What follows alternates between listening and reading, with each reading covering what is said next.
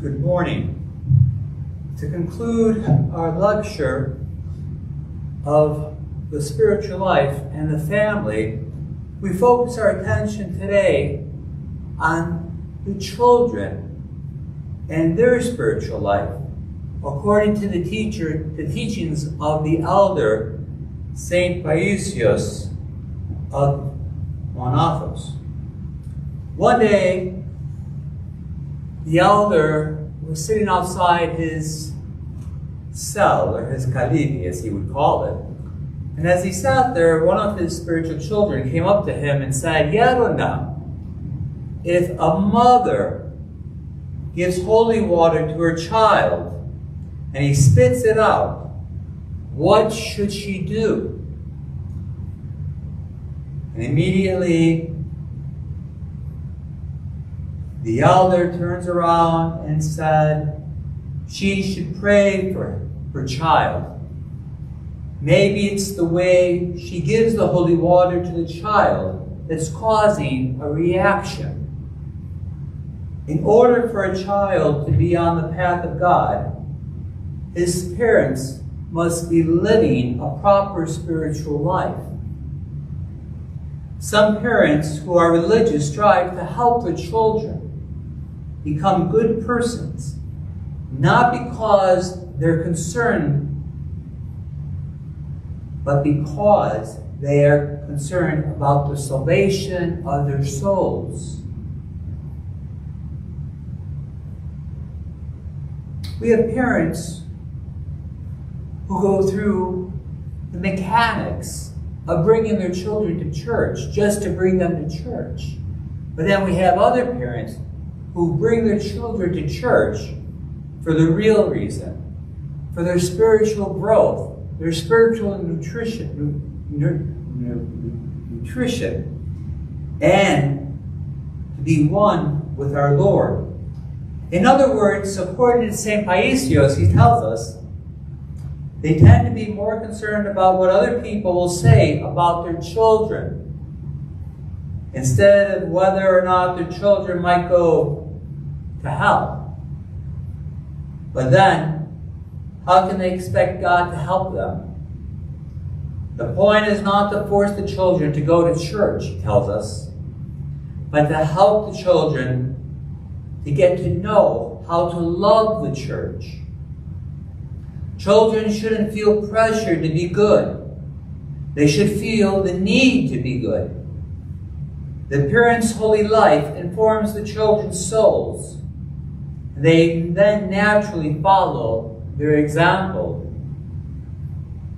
Children mimic their parents from a very early age. If they see good, they'll do good. If they see evil, they'll know nothing else but to do evil. As such, they grow up with a devotion and with help, both flesh and spirit, without emotional traumas. If parents, out of fear of God, encourage their children, God helps, and the children are helped. But if they do this out of ego, to show off, then God he tells us, will not help. Many times children suffer because of their parents' pride. And then another spiritual child of the elder had asked St. Paisios the question and said, Some mothers ask, what prayers should they teach the child, if the child is three or four years old.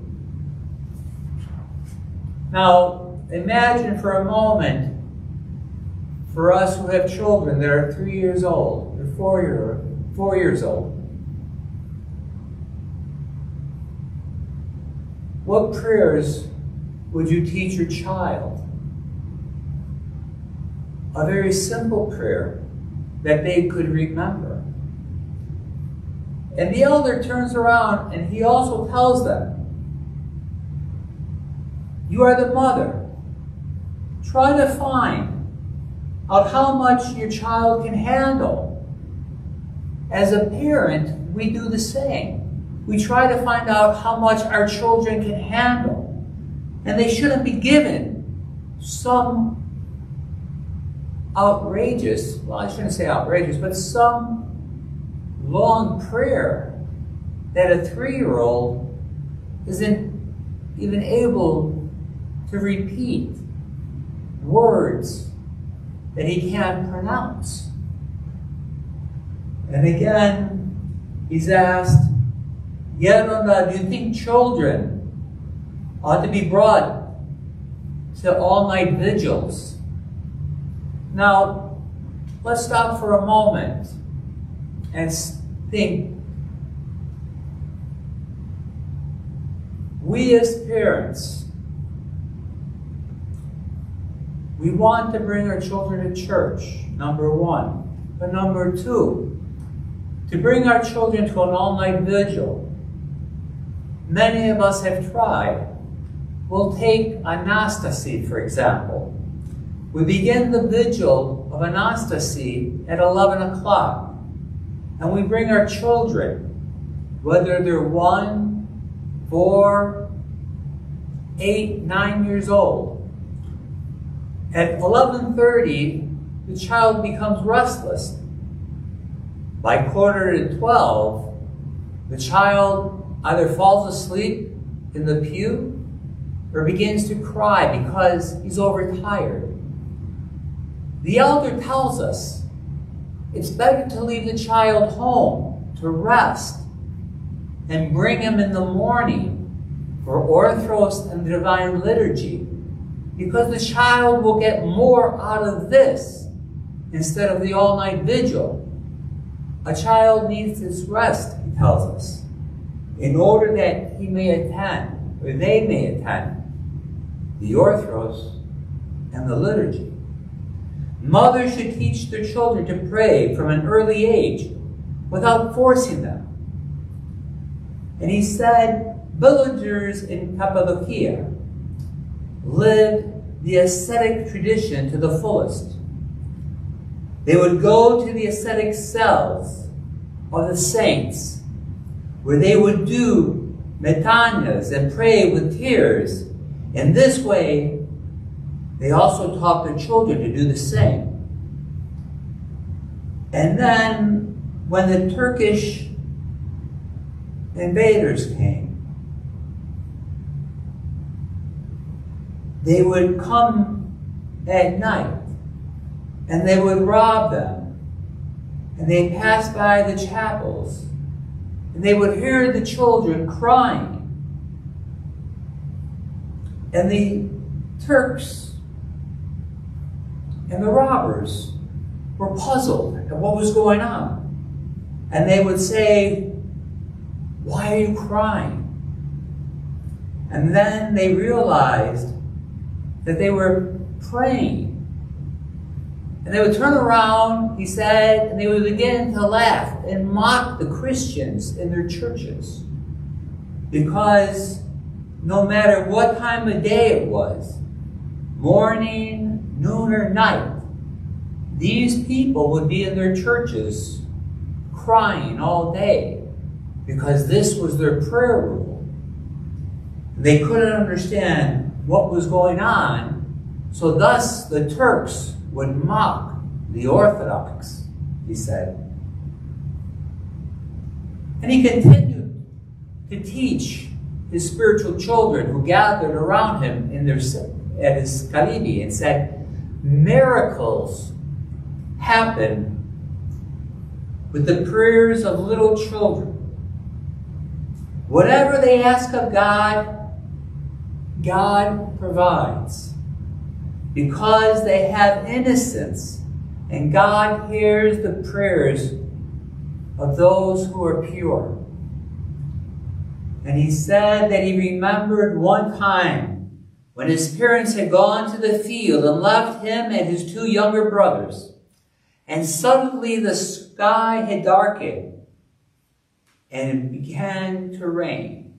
And it rained so hard that he said it was a torrential storm. And he recalled that they prayed, What will become of our parents? How will they get back home? And he wrote that his two younger brothers began to cry. And he said, Come, let us pray to God and ask our Lord that the rain will stop. The three of them knelt and prayed to our Lord and Savior Jesus Christ. He said, for the rain to stop in order that his parents would be would return home safely. And in a few minutes after they prayed, their prayers were answered and the rain stopped. With discernment, discernment, parents should help their children from a very young age to draw near to Christ and to experience from that young age the higher joys and the spiritual ones. And when they start to go to school, they should teach them little by little to read, not just their school books, he tells us, but also to read spiritual books. And what are the spiritual books? One, the Bible. Two, a book of prayers for small children to recite. And as they grow older, not only will they learn to recite the prayers from these small books for children, but they'll learn to learn, they'll learn to grow spiritually. And they'll become, as he says, angels in their prayers.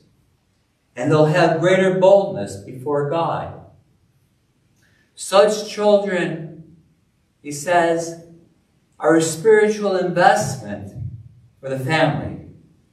Specifically, he says they should read the lives of the saints because this will greatly assist them in their spiritual life. And he said that he recalls when he was little, he would take those little books with the lives of the saints that were available in those years when he was a child. And he would go out into the woods to study them. And there he would pray. And while he was reading, he would remember how much joy would overcome his being. From the age of 10 to 16, when the Greek-Italian War broke out, he lived a carefree spiritual life. Childhood joys are pure, he tells us. They leave a lifelong imprint on a person. And then he tells us that person will find himself or herself very moved by the memory of these childhood recollections when they're older.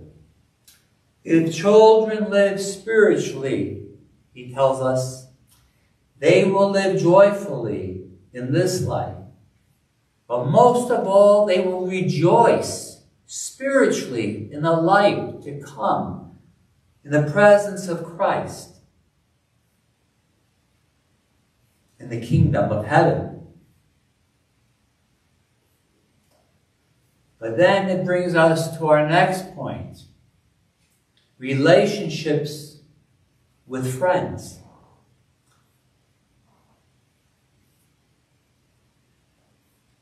Another young monk asked St. Paisios and said, Yeronda, a woman asked us what should she do about her two cousins who have been living off of her like parasites for years. And his response was very simple. What does she want? Should we come up with a new gospel for her? God has asked her to help her cousins, and he will do whatever is beneficial for their souls. And immediately the young monk said, Yeronda, when there is a misunderstanding among relatives, should someone intervene in order to help them? And St. Paisios writes, of course, someone should say something discreetly, because if he keeps silent, he may cause further harm. If by doing this he's misunderstood, he should go once again to say, please forgive me for upsetting you. Following that, he should leave them alone and pray for them. If one wishes to live, live peacefully, he must be especially careful with his relationship with his relatives and with his friends. One mustn't be fooled by politeness.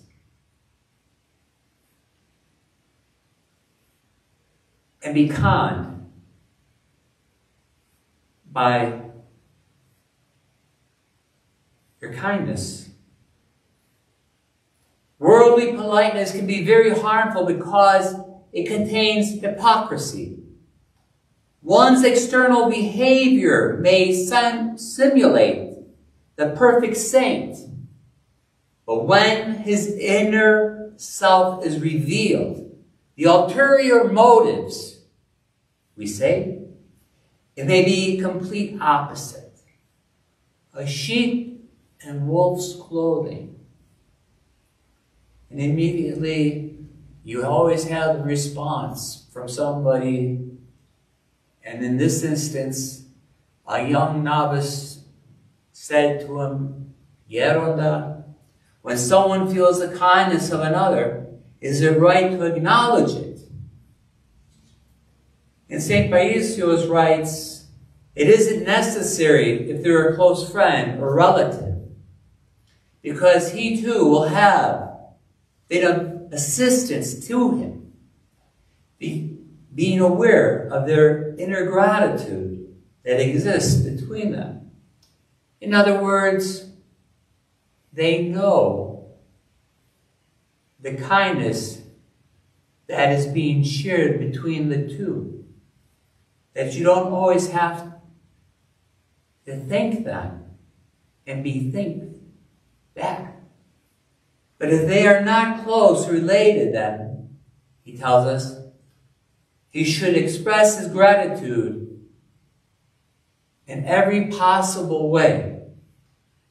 To strangers, we say thank you.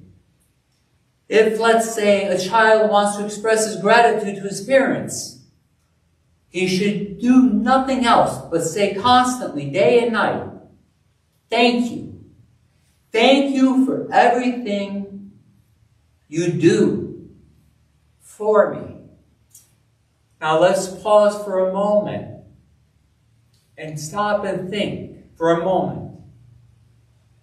Our own children today, do they stop and thank us every day for everything we do for them? Do we stop and say thank you for everything that our parents have done for us? Something to think about. We should practice what we preach. It's very helpful to be simple in our relations with others, to always have good thoughts about them, and to not talk everybody to be serious. One should avoid discussions which are presum presumably held for spiritual improvements. But we should always avoid speaking ill of people. And St. Paisios tells us because it brings nothing but headaches to a person. One shouldn't expect spiritual understanding from people who don't believe in God. Ever talk to somebody who doesn't believe the way we believe? Or believes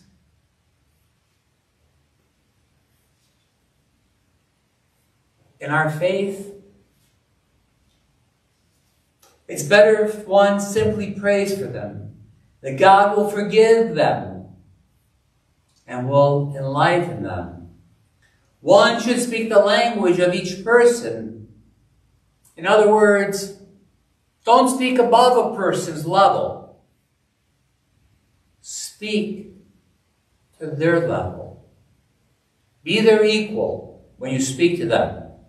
Don't be condescending to the person, St. Paisios tells us and not reveal the great truths that he believes and experiences. Because they will not understand what you are saying when you speak above them. But rather speak simply with love in your heart. In this way, they will understand what we are saying. And St. Paisios tells us that some people may say, I want others to know Christ like I know him. And so they act not as a friend, not as, as an equal, but as a teacher.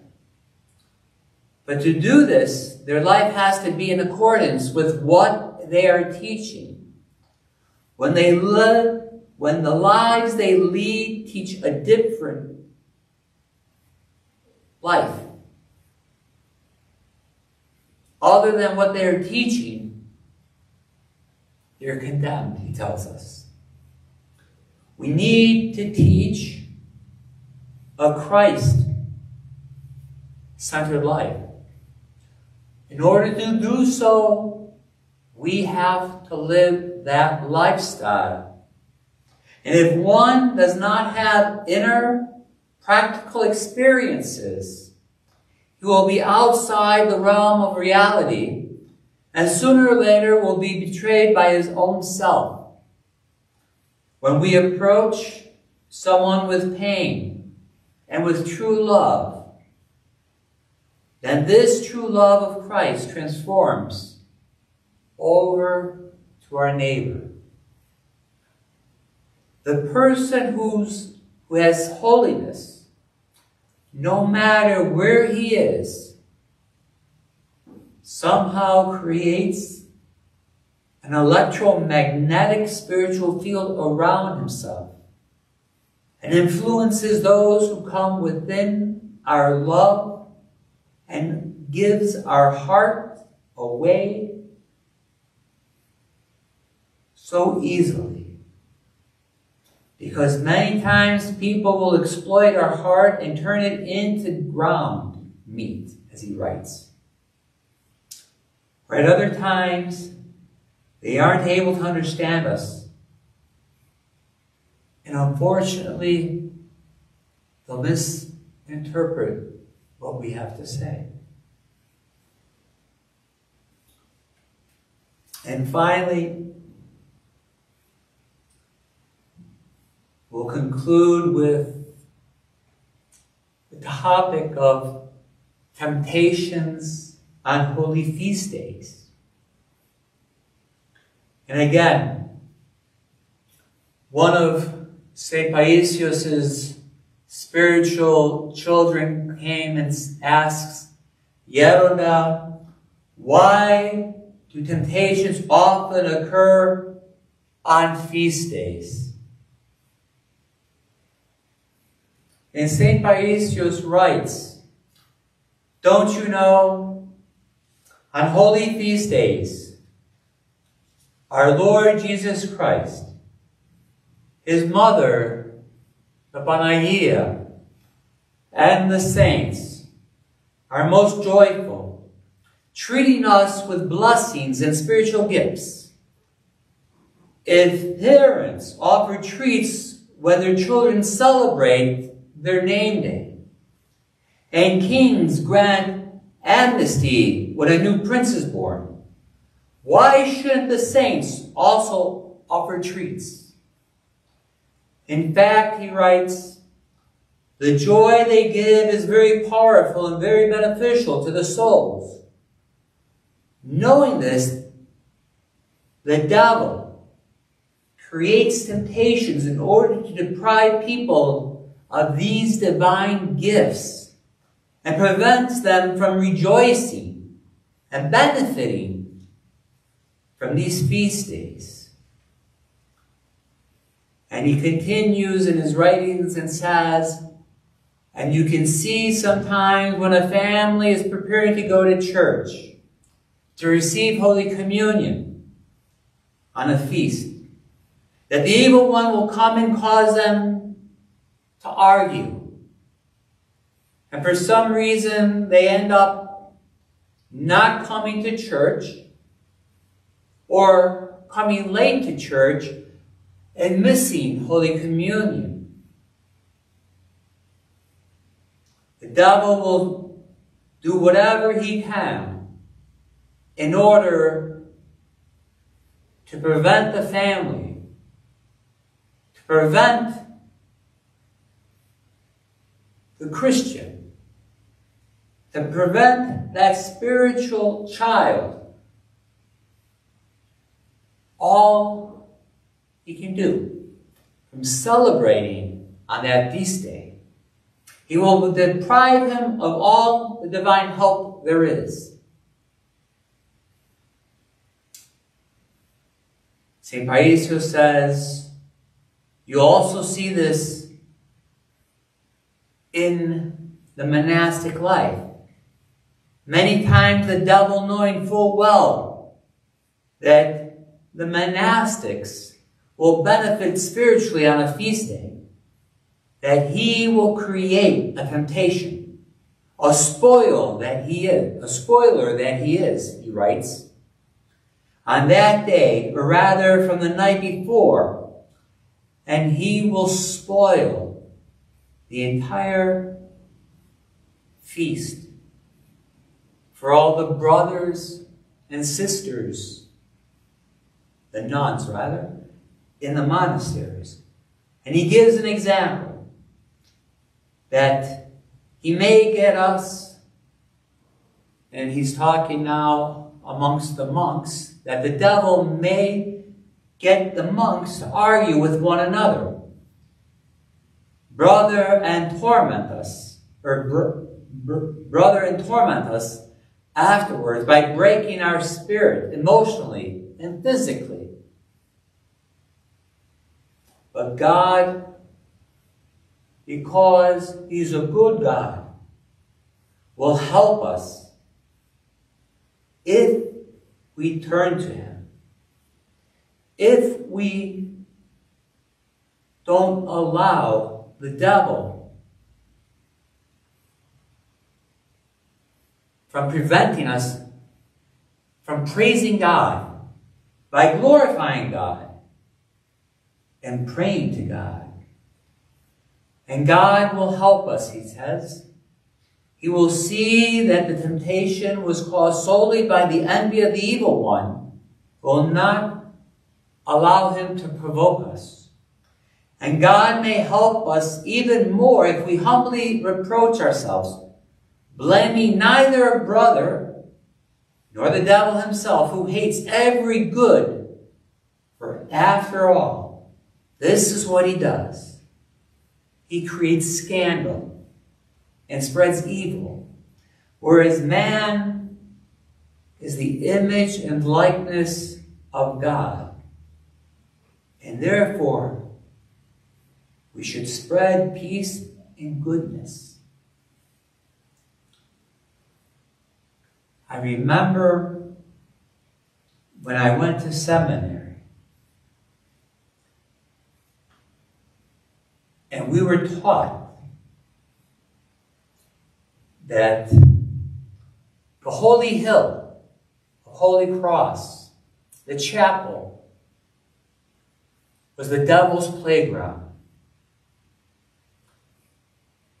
And that we should be vigilant in our prayer.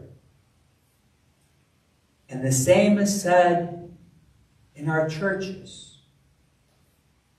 That where else does the devil come to tempt us? But here, in our churches, which is our spiritual hospitals. And it's here that we fight the good fight against the evil one. There's a story, and I'll conclude with this, of a holy monk that lived alone in the desert. And the devil told his little demons to go out and to destroy this monk who was so holy and pious and humble. And these demons went night and day to try to break this monk from this spiritual rule of his prayer life. They couldn't do it. No matter how hard they tried. And they returned to the devil and said, We can't break his spirit. And the devil said, You're doing it all wrong. He said, Let me show you how it's done. And immediately the devil went to this monk's cell. And he saw the monk praying peacefully in the corner without distraction.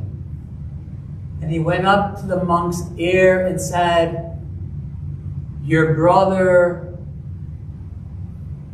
so and so just became patriarch. And immediately the monk stopped praying,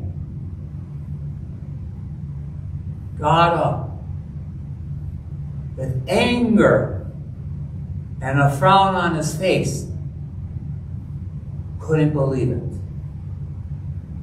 And the devil turned around and told his fellow demons and said, This is how you get them envy and jealousy. And St. Paisios tells us and that we should be on guard and not allow the evil one to come, as he wrote, to provoke us against one another, but always to give praise to God.